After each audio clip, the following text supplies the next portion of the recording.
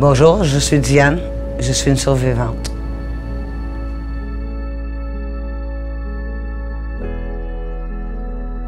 J'ai grandi avec des, criminels. Fait pour, pour moi, un gars, je fais un long tatou, waouh, c'est comme, c'est cool, c'est cute. L'autre gars qui ta cravate, il est plate, lui? Tu sais, comme, mal que je vois ça? Je me doutais jamais ce qui se passe? Au début, première année, deuxième année, c'est toujours, il est fin, il est correct, il fait la traite. Après ça, ça commence à être plus rough un peu, là. Commence à me pousser. Ça commence à te traiter de chienne. Ça commence à de bitch. Tu sais, là, c'est- plate. C'est plate parce qu'après ça, ça n'arrête plus. Violence conjugale embarque. Le deuxième étage, là, se faire tirer par les cheveux, là, à coups de crowbar sur la tête, là. D'être couché dans un lit, faire réveiller à coups de câble d'acier dans le ventre, en te faisant dire Hey, lève-toi, ma tabarnouche, je vais chercher de la bière, j'ai soif. C'est pas le fun. Ma consommation, ça a été un moyen de survivre.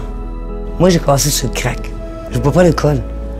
Fume une cigarette, c'est crack. Je te dirais qu'une demi, ça dure 5 minutes, là.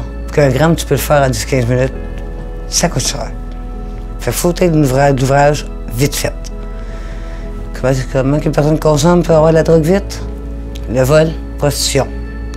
Moi, je faisais dans le temps entre 1000 et 2000 pièces par jour que je dépensais en drogue. Mais c'est dégradant. C'est dégueulasse. On m'a dit de quoi j'étais rendu, là, quand j'avais un chum, là. Je n'avais plus de feeling. Quand je faisais mes clients, là, je me faisais un mur. C'est pas force de consommer, à un moment donné, je me suis remonté en prison. Puis je, te dirais, là, quand le screw est venu me voir et m'a dit, là, Mme vous êtes libérée de même, vous savez, j'ai parti broyer dans ma cellule. Pourquoi?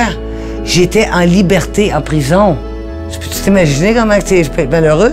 J'étais heureuse, moi, en prison. J'avais le droit de manger ce que je voulais. Je me donnait à manger, je pouvais manger. J'étais pas obligé de me lâcher.